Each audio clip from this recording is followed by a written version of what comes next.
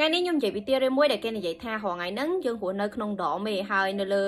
ដមហ្នឹងគឺគ្រប់ដណ្ដប់ទៅដោយទឹកទាំងអស់ហើយនៅក្នុងហ្នឹងក៏មាន information back up ច្រើនដែរនៅក្នុងឆ្នាំ1962អាមេរិកបានបង្កើត project មួយដែលមានឈ្មោះថា Fishball ហើយ project មួយនោះដែរគឺបានបង្ហោះ nuclear ដើម្បីបន្ទុះនៅលើមេឃតែម្ដងនៅលើអាកាសហ្នឹងណាហើយមានការមាន theory ជាច្រើនដែលនិយាយតគ្នាថាវាអាចមកពីគេចង់ពិសោធន៍ថាពេលដែលបាញ់ទៅលើមេឃហ្នឹងគឺវាផ្ទុះបំបែកអាដមនឹងបានឬក៏អត់ហើយនៅពេលដែលគេបានបង្ហោះ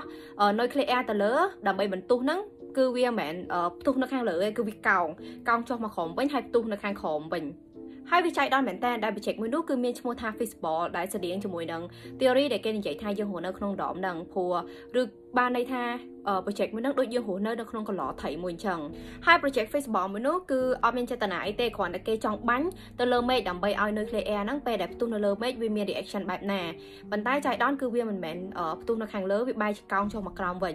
ដូចវាទៅប៉ះអីមួយហើយវាកោងចុះមកក្រោមវិញអញ្ចឹង ហើយនៅក្នុងតុក្កតា Samsung ក៏មាននិយាយពីរឿងនឹងដែរខ្ញុំនឹងដាក់ឲ្យអ្នកទាំងអស់គ្នាមើលនៅខាងក្រោមនេះណាឧទាហរណ៍ថាបើសិនជារឿងនឹងជារឿងប៉ិតអញ្ចឹងមិនន័យថាអ្វីដែលយើងឃើញអ្វីដែលយើងឮកន្លងមកសិតតែជាការកុហកអីដែរតកតងនឹងការទៅភពអាចារ្យឬក៏ទៅភពក្រៅណាតែនេះគ្រាន់តែជា conspiracy theory មួយយើងអាចបញ្ជាក់បានថាវាប៉ិតឬក៏មិនប៉ិតទេហើយរឿងនេះដែរក៏មានតកតងជាមួយនឹងរឿងមួយទៀតដែលគេនិយាយថា flat earth នឹងឯងគឺ ភពផែនដីរបស់យើងមិនមែនមូលចេះហេប៉ុន្តែវាតប៉ែតចេះវិញ